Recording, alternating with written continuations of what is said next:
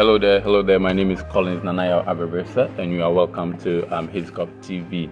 Uh, in today's lessons, I want us to look at the um, activities of George Maclean in the Gold Coast. Uh, but before we begin to say anything, let's take a look at our lesson objectives for today.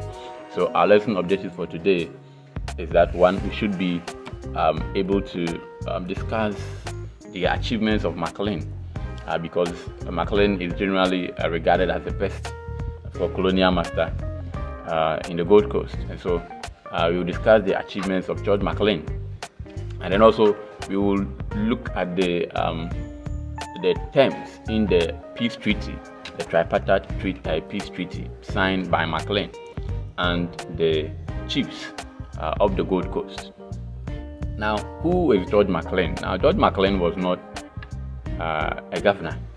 All right. Now, he came into the scene after um, 1826. Now, the British fought two wars with the uh, I mean Asante. The first one was the Nsamanko War, which was fought between Asante and Denkyira in 1824. And so uh, Charles McCarthy, who had been appointed as um, governor of the Gold Coast at that time, uh, wanted peace to trade among the people. However, the Asantes were very, very stubborn. And so uh, Charles McCarthy then saw the Denkyira Asante War as an opportunity to uh, engage for himself or the British um, army or forces in the war and then um, to silence Asante uh, once and for all. So the aim of George uh, McCarthy in joining the Denkyira to fight the Asante was to um, silence the Asante. But then, uh, as fate will have it, Charles McCarthy was killed by the Asante army. interestingly, and if you if you read uh, the records, uh, it tells you that uh, according to one, they said his head, McCarthy's head was cut off, and the skull or the head was sent to Kumasi uh, and to be used as a war relic. Where uh, at times they even said, you know, if you read some uh, or Western uh, historians, they will say things like the Asante or the king of the Asante Empire used the skull of of McCarthy to drink water, which I don't think it was true. All those are Western uh, you know, of course, of course, they are Western misconceptions and Western racism kind of, you know, you know, you know. But then, for McCarthy, for the long and short was that McCarthy was killed in that battle, and the British, don't forget, had uh, promised the, uh, for the southern state of protection. And so, with the 1824 in Nsamanko battle, the British were fed up. I mean, they were ashamed of themselves uh, because they looked the, the the coastal states or people were looking up to the British for protection against the Asante and now um, these people have been killed. I mean, the the commander who was leading them has been killed. So it was a big blow to the British. Now the British then decided that in two years later, in 1824, they will come back again to revenge uh, the defeating of course humiliation that the Asantes had put them through in 1824.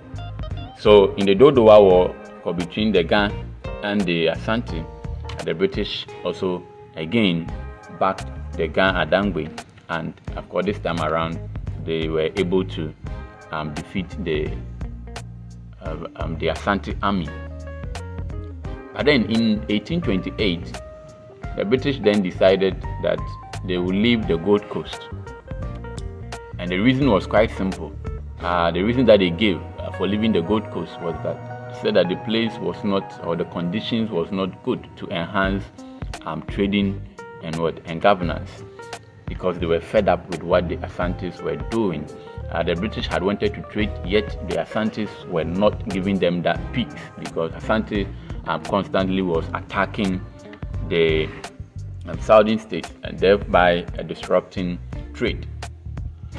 So in 1828, they decided to leave the Gold Coast, and that's the British government. However, the traders, or for the British uh, traders who had come uh, were not willing to leave because they were traders and they had seen uh, the items of goods that they so much um, demand.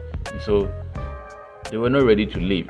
So then the British governor decided to hand over the castle and the forts to these merchants uh, to handle them because for them or the monarch, he was not going to appoint anybody, you know, to come and be a governor or whatsoever.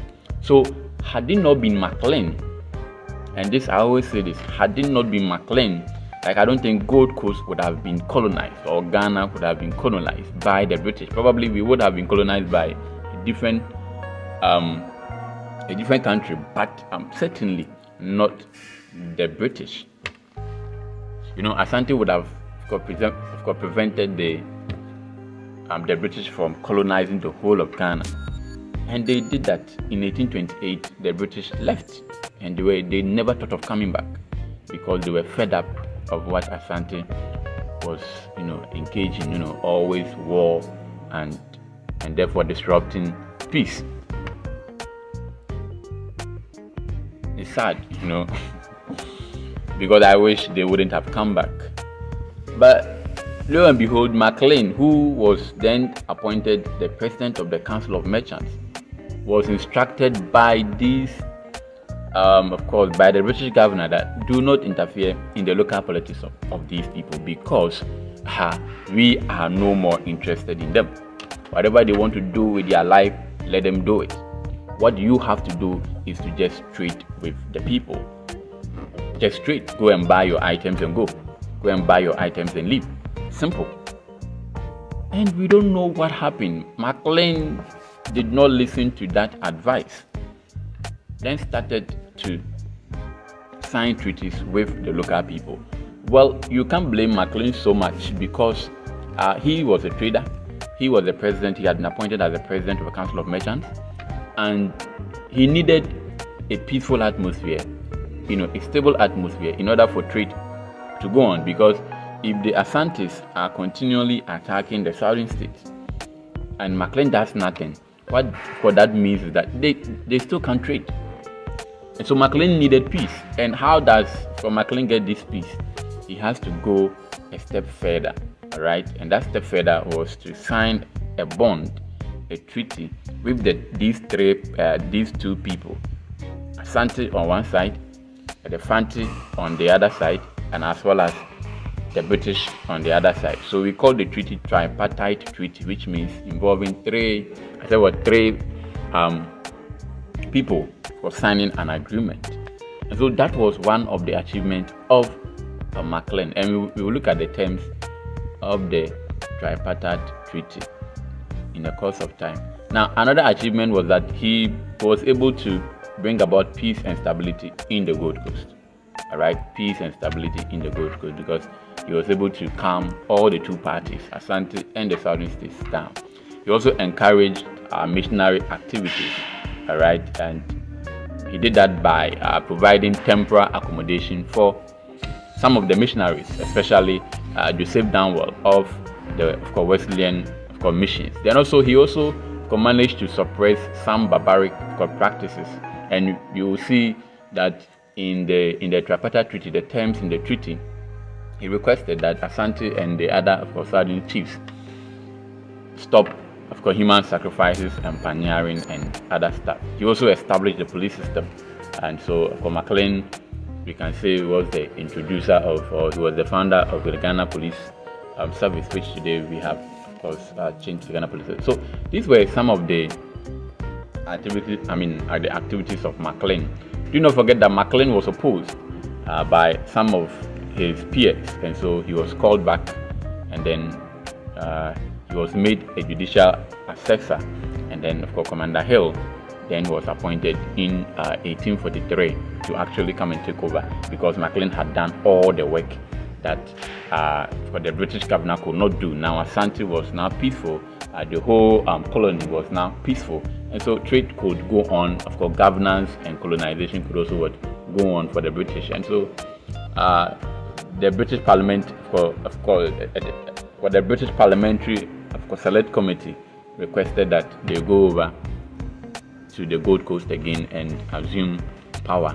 So I have a video also on the uh, uh, on the bond of 1844, and this of course culminated in the bond of 1844. So let's take a look at the terms in the bond of 18 uh, in the Tripartite Treaty, and uh, do not forget to subscribe to our channel.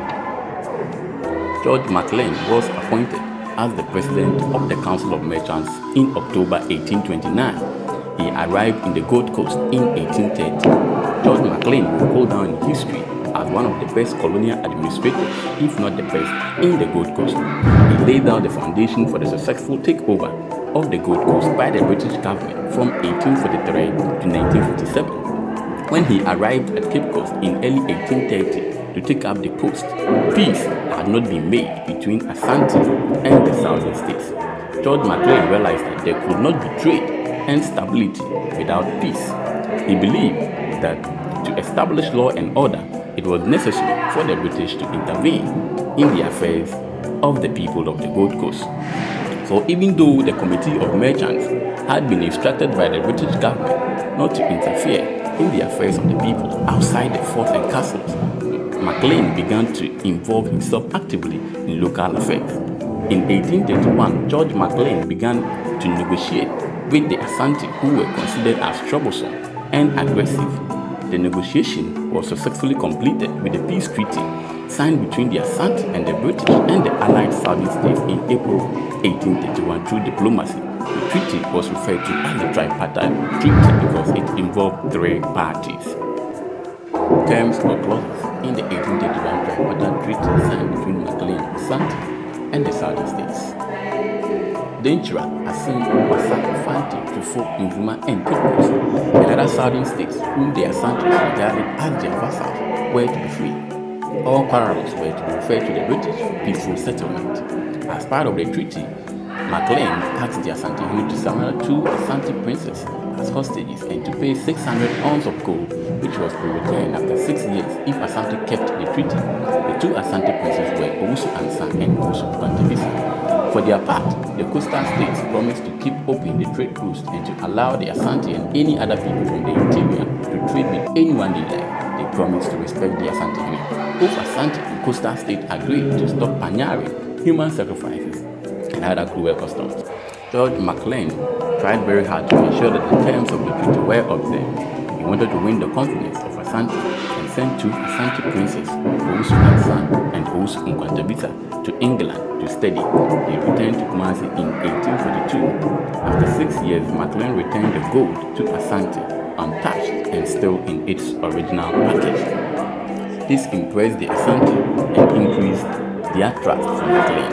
George Maclean died in 1847 and was buried beside his wife in Cape Coast forecourt of the Cape Coast Castle.